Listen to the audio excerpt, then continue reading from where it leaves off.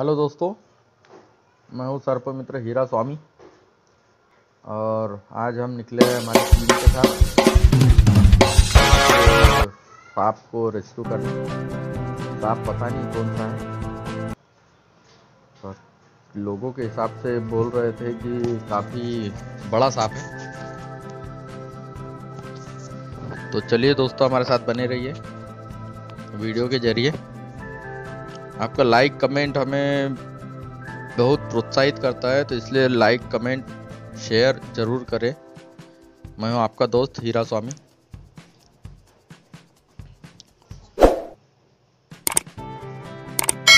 हम आ तो गए हैं रिलीज़ की रेस्क्यू की जगह पे। देखना है सांप कहाँ है। काफ़ी लोग का जमावड़ा है।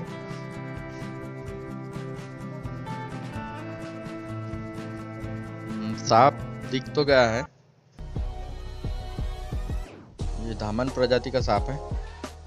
काफ़ी छोटी सी जगह में बैठा हुआ है और सांप इतनी छोटा सी जगह में कैसे बैठा है, देखो ये आप वीडियो में।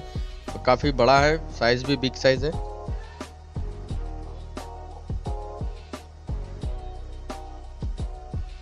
तो रेस्क्यू तो हो चुका है दोस्तों और ये धामन जाति का सांप है।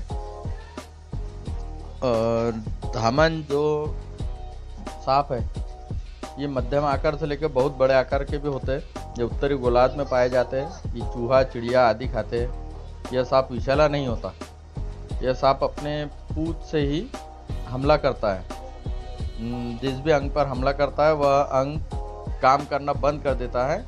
यह सब धारणा है। धारणा बोले तो इसे अंधविश्वास कहा जाता है। सिर्फ़ इसका पूछ जो रहती काफ़ी मज़बूत होती है। इस वजह से ये जो मारता है तो चाबुक के जैसा लगता है।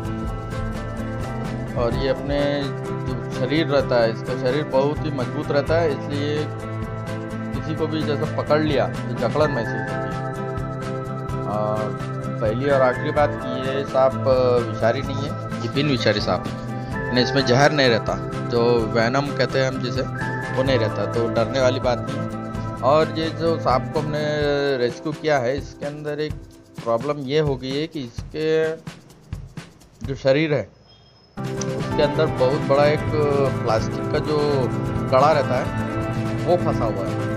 तो उसे भी हमें निकालना है। उसे अगर निकाल लिए तो सांप को जो है काफ़ी सहूलत हो जाएगी।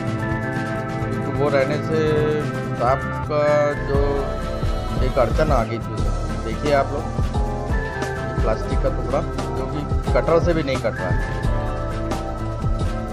हमें तो इसे निकालना ही है। जिससे सांप को आसानी हो। इससे जीवन व्यतीत करने में। देखिए कितना मज़बूत है ये। और काफ़ी सालों से इसके साथ ये चल रहा है। तो गलती से कहीं जब ये दामन छोटी होगी प्रजाति तो ये उसके अंदर फिट हो गया होगा। और जब साइज़ बढ़ती गई तो ये धीरे धीरे धीरे धीरे पीछे आता गया। काफ़ी सालों पुराना है ये। और इसे हमने आज निकाल लिया है। निकल गया तो हमें भी काफ़ी अच्छा लगा सुकून लगा कि भाई नहीं, हमारे हाथों कुछ अच्छा काम हुआ है। पापा को बचाना ही हमारा कर्म है, धर्म है। और इनको बचाने के लिए हम हमेशा कोशिश करते रहेंगे। तो रेस्क्यू भी हो गया अब जल्दी इसे रिलीज़ भी कर देंगे। थोड़ा ट्रीटमेंट की ज़रूरत है इसे। तो ट्रीटमेंट करने के बाद इसे रिलीज़ कर देंगे। तो दोस्तों, बने रहिए हमारे साथ। वीडियो के साथ। हमारे साथ है राहुल वानखड़े। तो दोस्तों, चलिए अब हम आए हैं इसे रिलीज़ करने।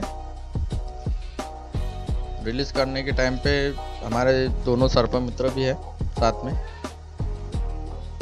रिलीज़ तो हो चुका है। लाइक बटन दबाना ना भूलें। सब्सक्राइब ज़रूर करें। मैं